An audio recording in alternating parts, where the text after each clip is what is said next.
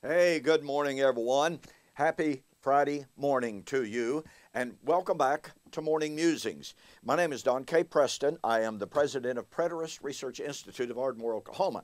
This is video number two in our review and response and refutation of a new book, 2019, by Lance Conley. Uh, the book is entitled Hope Resurrected. If you want to waste some good money, you can get that off of Amazon. Not trying to be overly harsh or critical. You know, I've, I produced the first video uh, exposing the, the absolutely rotten foundation of Mr. Conley's entire approach in this book. That approach, that foundation of Mr. Conley, can be, can be best summarized by one of his statements early in the book, page 25, when he says, Many people like to believe our ideas of truth and doctrine are born from, from an objective reading of Scripture. And while this idea sounds pleasant, it is not accurate. The things we value theologically, spiritually, and emotionally come to us from one tradition or another. Tradition offers us the practice of passing things down like the church did and still does today.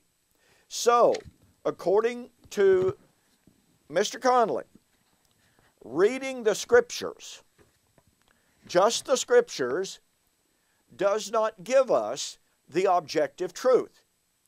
We receive the truth of what the scripture said by the church that has passed down traditions.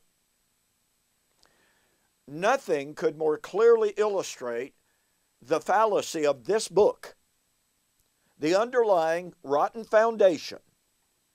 Because you see, Mr. Conley believes in something that is known as apostolic succession. He believes that the apostles appointed elders, presbyters, pastors, and that those individuals then had the divine truth. They in turn appointed successors who had the divine truth. Now, listen, I want you to catch the power of this. If the doctrine of apostolic succession is true, there should not be any divisions or differences in doctrine. The Holy Spirit and God is not the author of confusion. So if Paul, who taught the same thing as Peter, and the rest of the apostles, Galatians chapter 2. If they divinely appointed, laid hands on their successors, gave them that united single truth, then they those divinely inspired, divinely appointed successors should have taught the exact same non varying, non contradictory truth. There should have been one single truth. But what do we find in church history? Well, just as one little item here. Oh, by the way, I've got to take note of this very, very quickly. I pointed out that, you know, the, some of those very earliest writers, Justin the Martyr, praised the idea present in the church that even married couples do not have sex except to have children. Mr. Conley tried to divert attention from that and say, well, no, no, that, that's not accurate. The subject matter was the uh, abandonment of children that was present in the Roman Empire. Has nothing to do with that. Does Irenaeus talk about that and condemn that? Yes, he did. But in that discussion that I quoted, he's not talking about that. He is talking about and praising Christian married couples who did not have conjugal relations except to bear children. Now, here's the interesting thing. I have asked Mr. Conley no less than three or four times.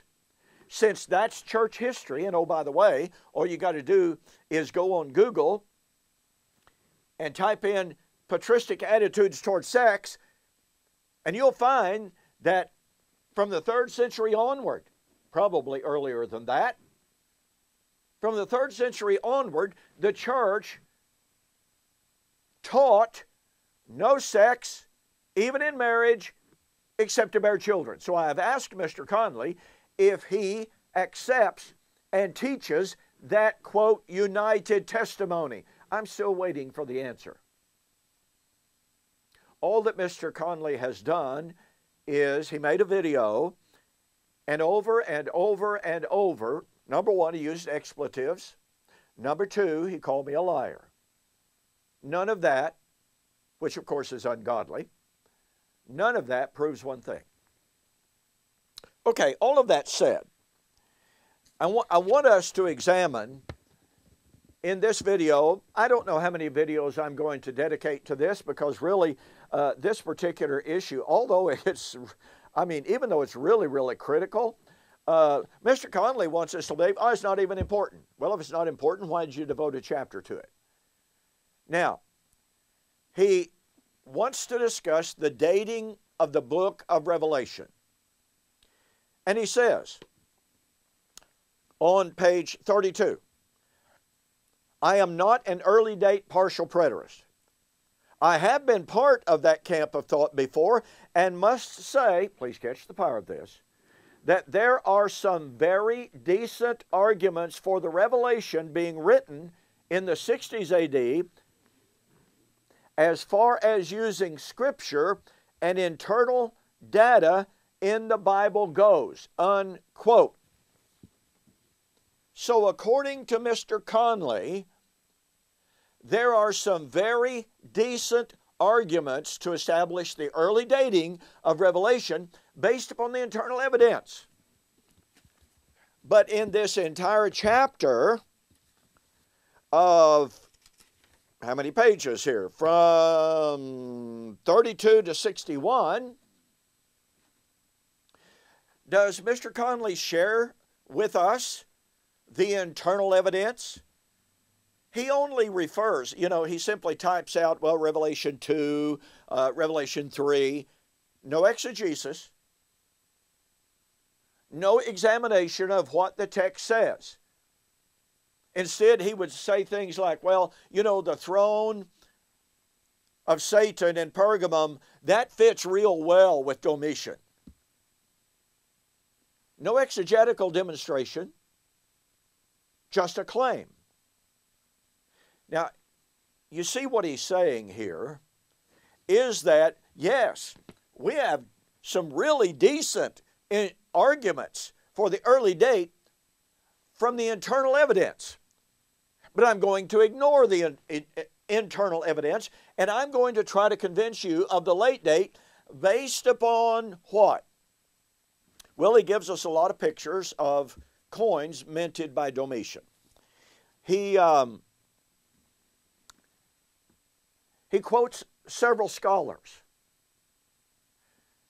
He chides and condemns Kenneth Gentry's examination of Irenaeus and the unreliability of, of Irenaeus, saying, well, Kenneth Gentry is simply trying to poison the well against Irenaeus. I'll have more to say about that in the next video. But do you see what's happening here? On the one hand, yes, there's some very decent arguments for the early dating.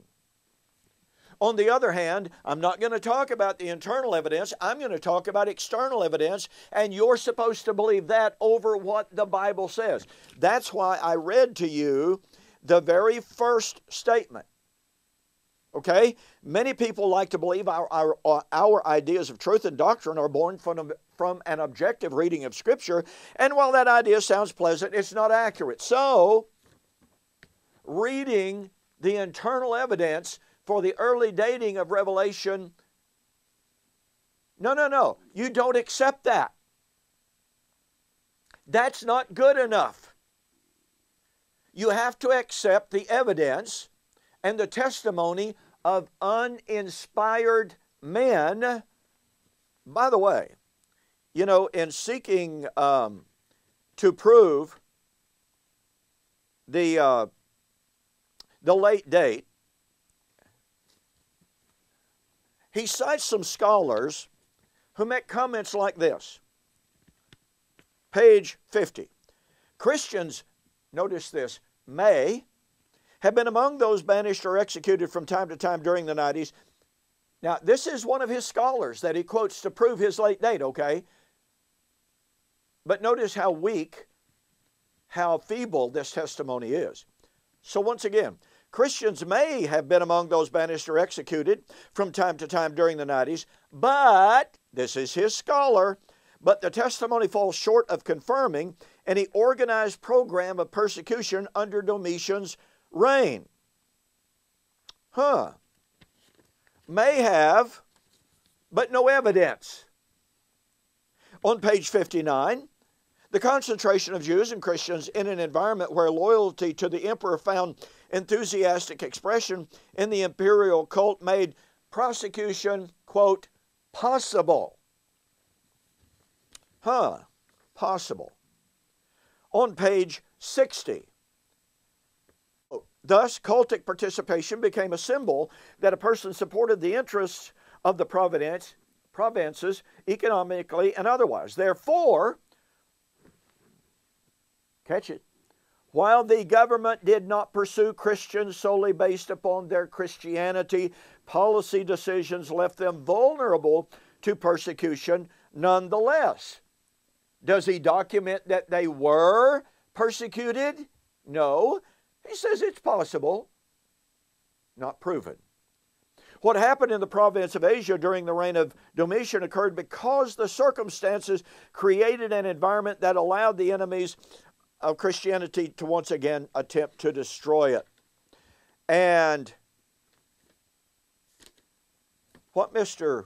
Conley fails to tell you as I document in my book, Who is This Babylon, page 108 and following, and by the way, the, the citations that I give here are basically from late date advocates, men who accept the dating of the book for under Domitian and to speak of Roman persecution, but they admit the following.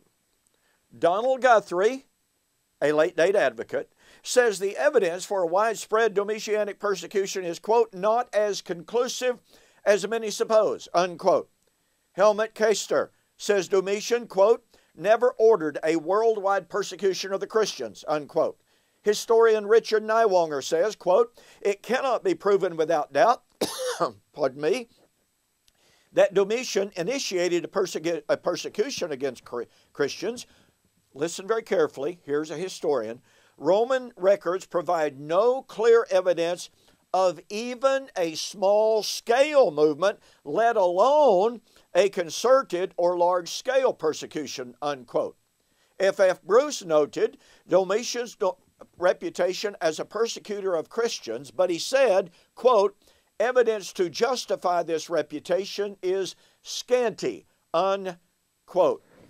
And I've got other quotes in here from late date advocates. So here we have Mr. Conley quoting some sources who say, well, it's possible, it might have been, but there's no proof of it, and yet he wants to use that as proof.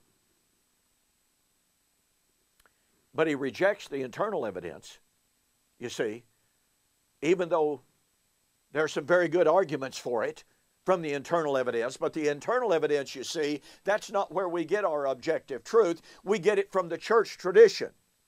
And the church tradition says Domitian, therefore we'll accept church tradition over what the Bible actually says. This is Mr. Conley's presuppositional approach to the book of Revelation.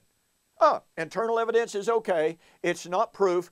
We have to go to tradition because, after all, we believe in apostolic tradition we believe in church tradition. And it might feel good to say that objective truth is gained from Scripture and Scripture alone. It's not true. It's not true at all. We only get it from tradition.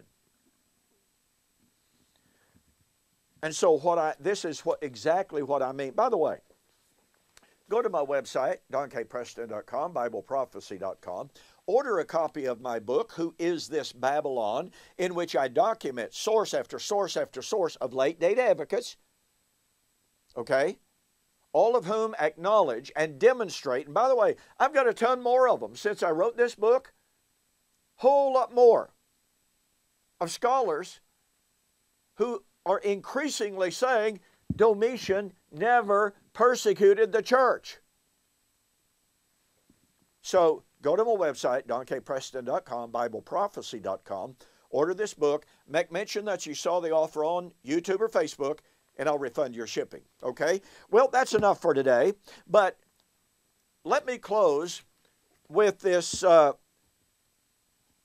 with this closing statement on page 61 from Mr. Conley, that is surely, absolutely, one of the most theologically naive, one of the most theologically false statements that a person could ever, ever make.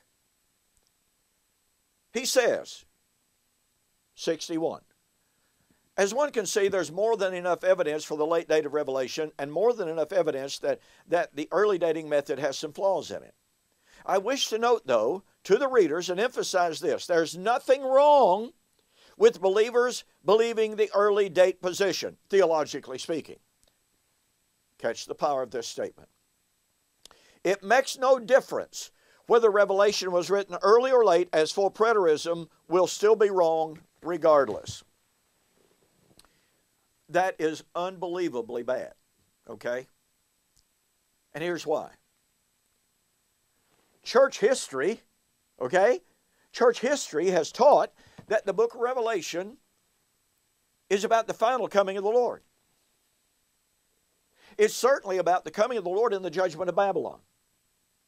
So if it's true that the book of Revelation is about the coming of the Lord and the judgment of Babylon, and if it is true that that's the second coming of Christ, i.e., in the judgment of Babylon, then if it's proven that the book of Revelation was written before the fall of Jerusalem and predicted that event, then that proves, guess what? The second coming was at the fall of Jerusalem in AD 70. And Mr. Conley's statement, oh, well, you can agree to the early date, but that still doesn't prove preterism. You see how fallacious that is? That is preeminently illogical if Revelation is about the coming of Christ, the judgment, and the resurrection, and it posits that at AD 70, then all other eschatological texts, 1 Thessalonians 4, 1 Corinthians 15, 2 Corinthians 5, Acts 1, must likewise refer to AD 70. And Mr. Conley is therefore absolutely wrong. Thanks so much for joining me for this morning's morning musings. Now, next Friday, I will continue. And I'll show you some of Mr. Conley's absolutely unbelievably bad comments and his fallacious attempt to prove the late date of the book of Revelation. It's really, really some bad stuff. Okay? Thanks for joining me. Have a safe weekend. Hope to see you on Monday.